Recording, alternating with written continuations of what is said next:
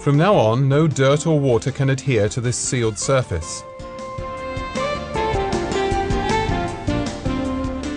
As a result of their surface tension, the drops of water now form a sphere, roll down the slant of the windscreen, and take all the dirt with them.